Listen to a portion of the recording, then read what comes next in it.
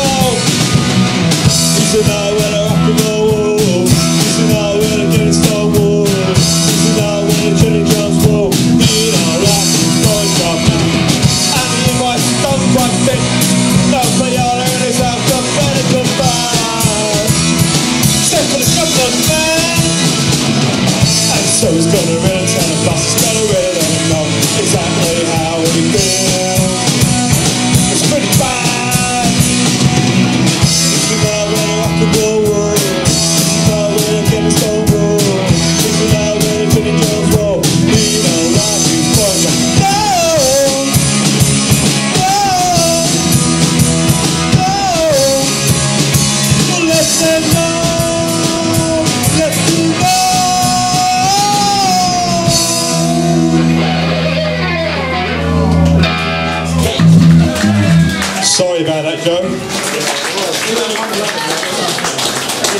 That was, that was by the Clash, by the way.